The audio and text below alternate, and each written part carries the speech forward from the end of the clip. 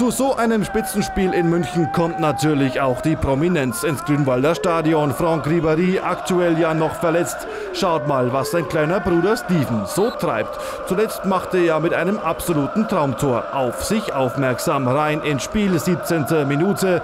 Die Bayern in Rot mit dem Eckball und der Ball, der kommt zu Ribéry an den Querbalken. Riesenpech für den Jungstar. Der Ball wird noch abgefälscht und rums an die Latte. Riesenglück für Kolbe im Nürnberger Kasten. Guter Auftakt für die Mannschaft von Heiko Vogel. Bisher sind sie ja noch unbesiegt in dieser Saison. Und die kleinen Bayern, ja, die bleiben dran. Gut über eine halbe Stunde gespielt. Freistoß und Lappe macht das 1 zu 0 für den FC Bayern. Vierte Saisontreffer für den Bayern-Kapitän. Lappe ist da völlig blank, so frei darf er nie und nimmer an den Ball kommen. Wird gleich mal notiert von Heiko Vogel. Zufriedene Minen auf der Bayernbank. Ja, und die Roten, die wollen das zweite Tor nachlegen. Kurz vor der Pause wieder eine Standard. Und wieder ist es Karl-Heinz Lappe. Diesmal per Kopf. Kolbe steht goldrichtig.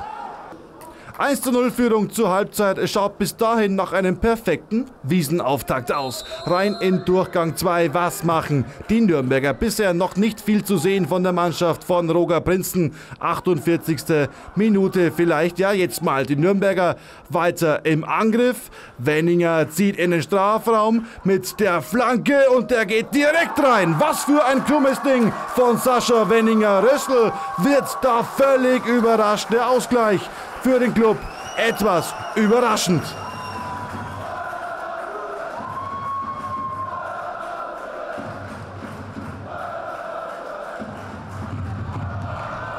Aber der Club, der bleibt dran. Roger Prinzens Plan scheint aufzugehen. Der Club nun deutlich aktiver und mit der Möglichkeit auf die Führung. Lux, immer noch Lux auf Kutschke, etwas zu ungenau. Der Pfosten verhindert das 2 zu 1 für die Franken.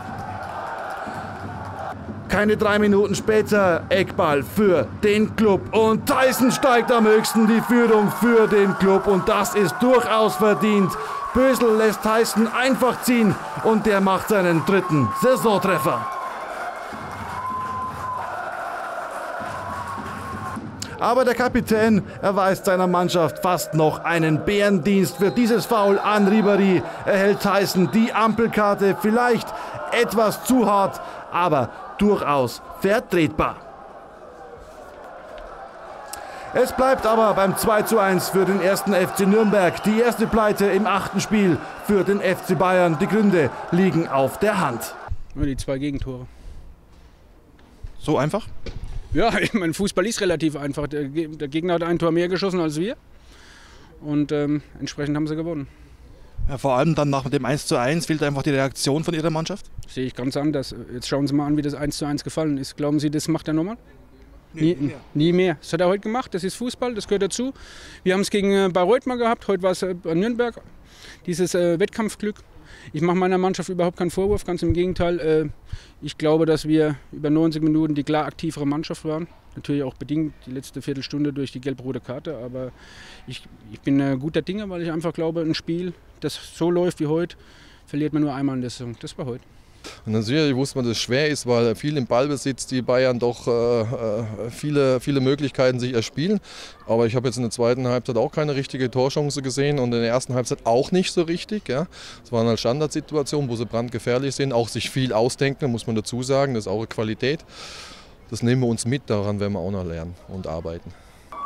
Der Club also wieder in der Erfolgsspur. Bayern muss nun Wunden lecken. Am Mittwoch empfängt man den TSV Buchbach zum Nachholspiel.